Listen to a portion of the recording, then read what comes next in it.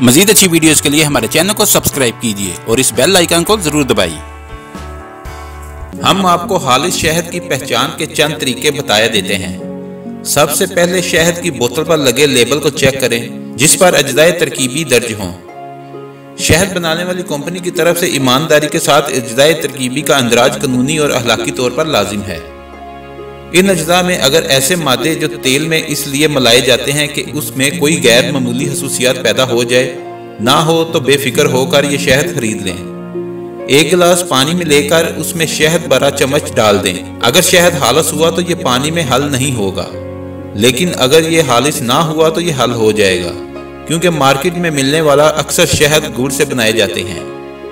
اس طریقے کے ذریعے شہد کی جانچ کے لیے آپ کو ایک عدد لائٹر اور موم بتی درکار ہے۔ موم بتی میں موجود کاٹن کی بتی کو شہد میں بگو کر ایک بار جھٹک دیں اور بعد ازاں لائٹر سے اسے آگ لگانے کی کوشش کریں۔ اگر اس بتی میں آگ لگ گئی تو سمجھ لیں کہ یہ حالت شاہد ہے۔ شہد کے چند قطرے جذب کرنے والے کاغذ پر ٹپکا دیں۔ اگر یہ کاغذ قطروں کو جذب کر گیا تو اس کا مطلب ہے کہ یہ شہد حالت نہیں ہے۔ اگر آپ کے پاس جذب کرنے والا کاغذ نہیں تو اس کے لیے آپ سفید کپڑا بھی استعمال کر سکتے ہیں۔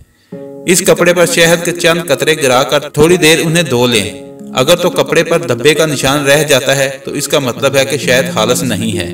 اگر آپ کو ہماری ویڈیو اچھی لگی ہے، تو اس کو لائک اور شیئر کریں اور کمنٹس میں اپنی رائے کا اظہار ضرور کیجیے شکریہ۔